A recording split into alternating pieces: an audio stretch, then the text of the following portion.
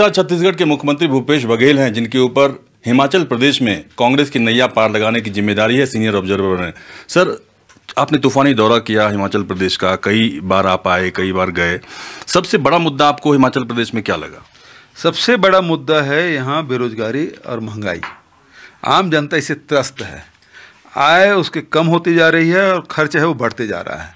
और इसी पूरे हिमाचल की जनता, चाहे वो किसान हो चाहे वो नौजवान हो चाहे घरेलू महिलाएँ हो चाहे वो नौकरी पेशा लोग हों वो सब लोग इस, इस बात से त्रस्त हैं। तो इसलिए ये महँगाई बेरोजगारी बड़ा मुद्दा है। इसलिए आप लोगों ने पहली कैबिनेट की बैठक में एक लाख सरकारी नौकरी ओल्ड पेंशन स्कीम पंद्रह सौ रुपये महिलाओं को हर एक महीने दी जाने की बात रखी है। बिल्कुल सही है कहा क्योंकि जो हम लोग ज़मीन में जो अध्ययन किया, वो यही था। और इसके पहले जो चुनाव हुआ मंडी का और तीन विधानसभा का, उसमें भी ये मुद्दे मुद्दे रहे हैं। और सरकार होते हुए भी चारों चुनाव हार गए भारतीय जनता पार्टी। तो ये अपने आप में बड़ा मुद्दा है। और उसको अध्ययन करते हुए आखिर लोगों की आय में कैसे वृद्धि हो? इसलिए हम लोगों ने जहाँ महिलाओं को पंद्रह सौ रुपया देने की बात कही, तीन सौ यूनिट तक बिजली बिल माफ़ करने की बात कही है, उसके बाद दूध भी खरीदने की बात है, गोबर भी खरीदने की बात है। बागबान की जो उपज है, किसानों की जो फ़सल उपज हो रही है खेतों में, उसकी कीमत कैसे तय हो, वो उनके अधिकार में होना चाहिए, न कि किसी उद्योगपति के हाथ में। तो ये सारी जो योजना है, वो लोगों के आय में वृद्धि करने की है। सर, आप तो एक प्रदेश के मुख्यमंत्री हैं इन सारे बातों में पैसा काफ़ी ज़्यादा इन्वेस्ट होगा, काफ़ी ज़्यादा पैसा खर्च होगा। पैसा आएगा कहाँ से? क्योंकि जयराम रमे, जयराम सरकार जो है वो पहले से कर्ज में डूबी हुई है। देखिए, अर्थव्यवस्था आपको किस प्रकार से घुमाना है? पहिया किस दिशा में घूमे? इस दिशा में घूमे क्या इस दिशा में घूमे? ये लोग इस दिशा में घुमाए तो हुआ क्या? अभी जो अर्थव्यवस्था भारतीय जनता पार्टी की है, वो ये है कि आम जनता, चाहे वो मजदूर हो, किसान हो, महिला हो, चाहे नौकरी पेशा लोग हों, वो सब के पैसे निकाल के वो चंद उद्योगपतियों की जेब में डालने काम कर रहा है। हमारी जो नीति कांग्रेस की नीति है, वो लोगों के आय में वृद्धि हो, मरेगा। हमने किया, किसान के ऋण माफ़ी हमने किया, और फ़ूड सिक्योरिटी बिल हमने लागू किया। यदि सेंट्रल की बात करें राज्यों में भी लोगों के आय में वृद्धि हो तो नौकरी कैसे ज़्यादा से ज़्यादा लोगों को दे सकते हैं? रोज़गार कैसे ज़्यादा से ज़्यादा मिल सके? ये हमारी कोशिश। तो ये जब ये पैसा आम जनता जेब में जाएगा, सरकार के पैसा तो होगा क्या? बाज़ार में पैसा आएगा। लोगों की क्रय शक्ति बढ़ेगी। और क्रय शक्ति बढ़ेगी तो निश्चित रूप से उन चीज़ों का उपयोग भी बढ़ेगा। तो जब उसमें जब बिक्री होगी तो टैक्स भी मिलेगा राज्य को। तो ये जो कह रहे हैं कि पैसा कहाँ से आएगा? ये सवाल 2018 में मुझसे भी पूछा गया। छत्तीसगढ़ में जब हमने कहा कि ऋण माफ़ी करेंगे, पच्चीस सौ रुपये क्विंटल में धान खरीदी करेंगे, चार सौ यूनिट तक बिजली बिल आधा देंगे तेंदुपत्ता चार हज़ार प्रति मानक बोरक दर से खरीदेंगे, तब यही सवाल भारतीय जनता पार्टी द्वारा वहाँ भी किया गया था। और आज चार साल बीत गया छत्तीसगढ़ में। वहाँ के तेंदुपत्ता संग्रह को चार हज़ार रुपये प्रति मानक बोरा मिल रहा है। बिजली बिल चार सौ यूनिट तक आधा मिल रहा है। पैंतीस किलो चावल हर परिवार को मिल रहा है। और साथ ही पच्चीस सौ रुपये क्विंटल में जो धान खरीदी की बात किए थे, वो भी मिल रहा है, बल्कि अब तो बढ़ गया, छब्बीस सौ चालीस रुपये पड़ रहा है।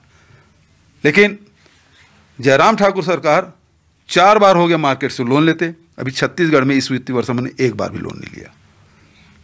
सर, आपने अपने दम पे इतना सारा काम किया छत्तीसगढ़ में, लेकिन ये डबल इंजन सरकार की बात लगातार प्रधानमंत्री कहते हैं, हर एक जनसभा में डबल इंजन डबल इंजन की सरकार इतने सारे राज्यों में बीजेपी की सरकार है। क्या वाकई आपको लगता है कि केंद्र सरकार की तरफ़ से मदद मिलने पे आपका काम या राज्य सरकार का काम काफ़ी आसान हो जाता है? यदि हिमाचल प्रदेश में केंद्र सरकार की के तरफ़ से मदद मिली होती तो चार बार लोन क्यों लेता?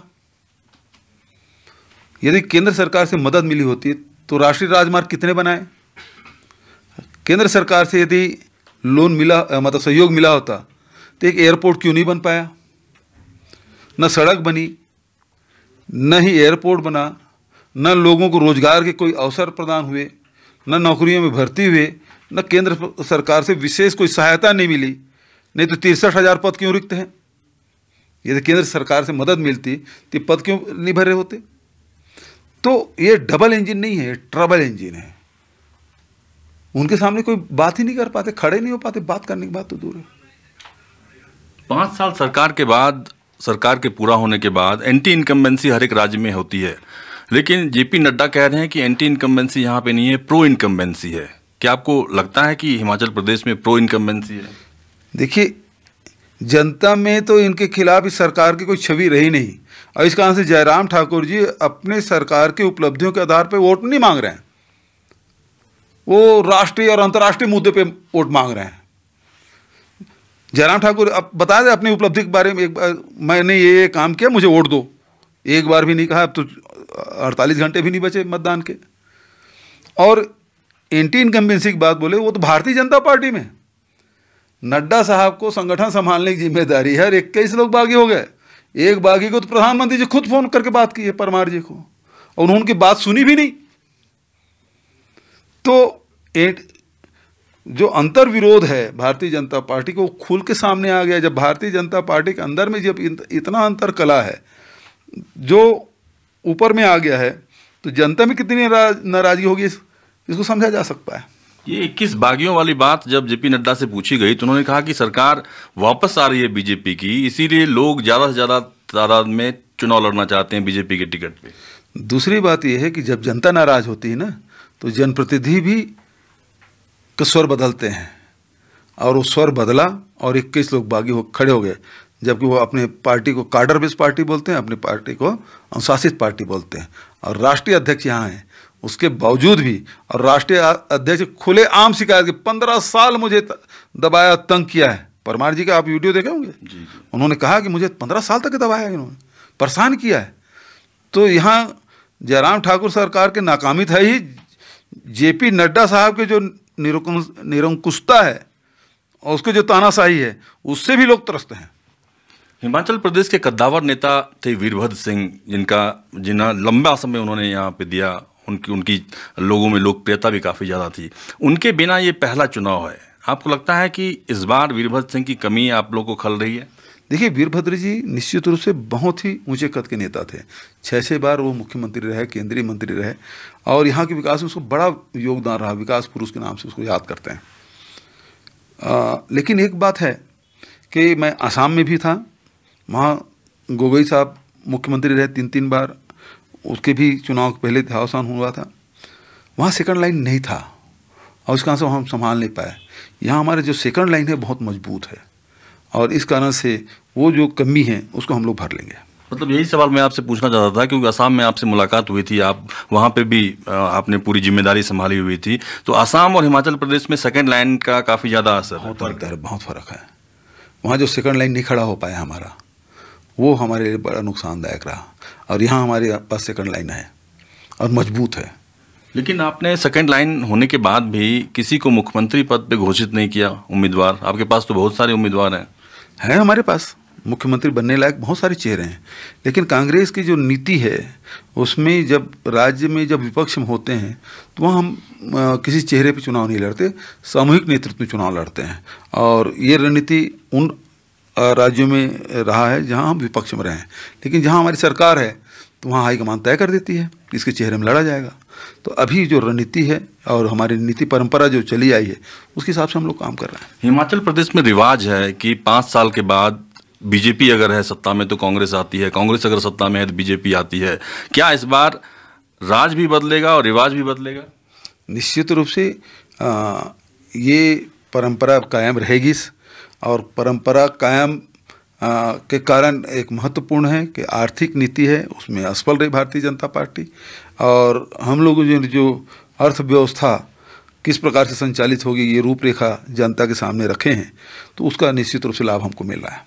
एक दो आखिरी सवाल कि यूनिफॉर्म सिविल कोड की बात लगातार बीजेपी करती है और जहाँ भी चुनाव होते हैं तो वहाँ पे वो कहती है कि हम कॉमन सिविल कोड लागू करेंगे यूनिफॉर्म सिविल कोड लागू करेंगे। इसका कितना असर हिमाचल प्रदेश में देखने को मिलेगा? क्योंकि उन्होंने अपने घोषणा पत्र में इसको रखा है। हुआ इसमें तो कहीं कोई चर्चा में दिखाई देता। क्यों? कि उत्तराखंड बगल के राज्य है। वहाँ उन्होंने कहा था कॉमन सिविल कोड के बारे में। लेकिन साल भर हो गया, उनकी सरकार बने लागू नहीं हुआ। सत्ताईस साल से गुजरात में उसकी सरकार है, लागू नहीं किया।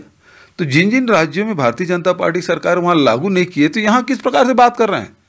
और इसको केंद्र को लागू करना है, उसको रोक कौन रहा है? तो आप केवल जनता गुमराह करना चाहते हैं, और जनता एक बार गुमराह हो सकती, बार बार नहीं हो सकती। हिमाचल प्रदेश में कहा जाता है कि नरेंद्र मोदी काफ़ी लोकप्रिय हैं, और वो हिमाचल प्रदेश को अपना दूसरा घर भी बताते हैं। अग्निवीर स्कीम का कितनी, कितना असर है यहाँ पे? कितनी नाराज़गी है लोगों में? देखिए, प्रधानमंत्री जी तो प्रदेश के नेता हैं। और हम सबके प्रधानमंत्री हैं। और पूरा देश उनका है, और देश के प्रधानमंत्री हैं। लेकिन यदि आप ये कहें कि मेरा दूसरा घर है तो दूसरे प्रदेश के साथ उपेक्षा नहीं कर रहे हैं आप। तो आप केवल वोट लेने के लिए इस प्रकार की बात करें तो अच्छी बात नहीं है। कम से कम प्रधानमंत्री स्तर के लोगों के साथ इस प्रकार से बात नहीं होनी चाहिए। और अग्निवीर तो सीधी सीधी बात यह है कि सेना का अपमान है। नौजवान जो दिन रात मेहनत करते हैं और चार साल में भूतपूर्व हो जाएँगे, ये कौन नौजवान इसको स्वीकार करेगा? और इसका निश्चित रूप से खामियाजा यह हिमाचल में भी भोगना पड़ेगा उनको। धन्यवाद। ये थे। भूपेश बघेल, जिन्होंने अलग अलग मुद्दों पर हमसे विस्तार से बात की। कैमरा पर्सन संजय सिंह के साथ अमन कुमार, शिमला न्यूज़ ट्वेंटी